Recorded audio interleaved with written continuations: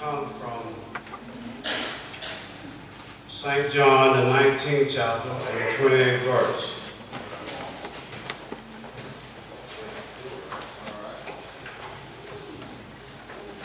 First, I want to thank my lovely wife, members,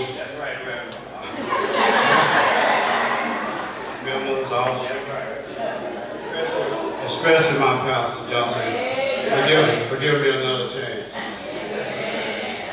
Always a, a great opportunity to stand before you to proclaim the gospel. Yeah.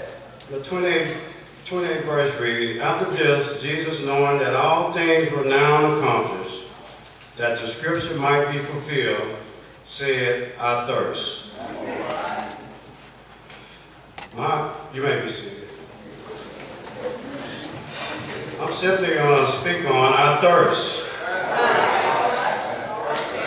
Uh, which, was, which was the fifth word of Jesus.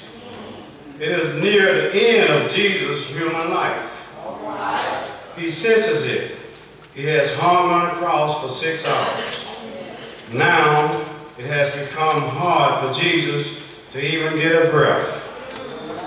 Hung from his arms, he must pull himself up each time he wants to breathe.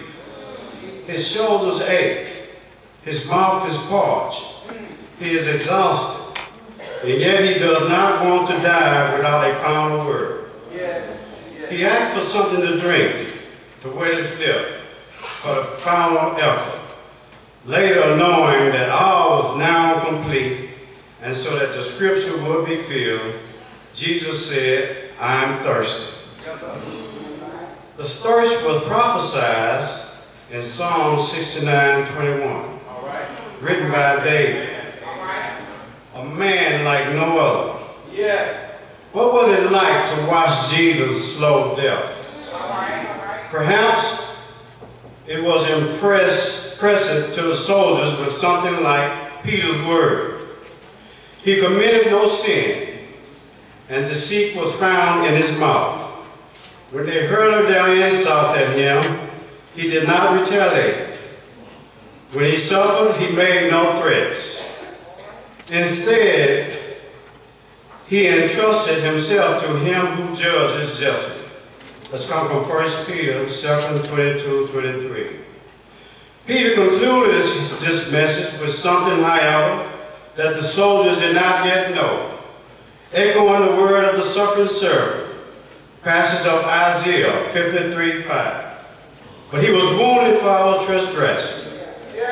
He was bruised for our iniquity. The chastisement for our peace was upon him, and by his stripes we are healed. What does the word I thirst tell us? Three things that the word tells us. First, Jesus' physical humanity. First and probably of greatest importance, Jesus' word I thirst remind us of Jesus' physical nature his humanity. Jesus' fifth word, our thirst, reminds us that Jesus died in the flesh for us and for our sins. Second, our thirst reminds us of Jesus' extensive knowledge of the prophetic scripture concerning his suffering and his death, and his willingness to fulfill each of them to the letter.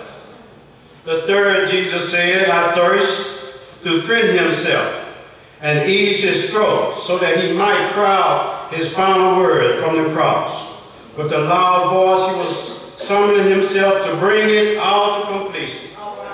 You and I could give Jesus a drink by sharing what we have to those in need. But Matthew 25, 34, 40 said, Then the king will say to those on his right hand, Come, you blessed of my Father, inherit the kingdom prepared for you from the foundation of the world. For I was hungry and you gave me food. I was thirsty and you gave me drink. I was a stranger and you took me in. I was naked and you clothed me. I was sick and you visited me. I was in prison and you came to me. Then the righteous will answer him saying, Lord, when did we see you hungry and feed you, or thirsty and give you drink? When did we see you a stranger and take you in, or naked and clothe you? Or when did we see you sick or in prison and come to you? And the king will answer and say to them, Assuredly I say to you, and as much as you did it to one of the least of these my brothers, you did it unto me. Psalm 34, 8 and say, says, Oh, taste and see that the Lord is good. Blessed is the man who trusts in the Lord.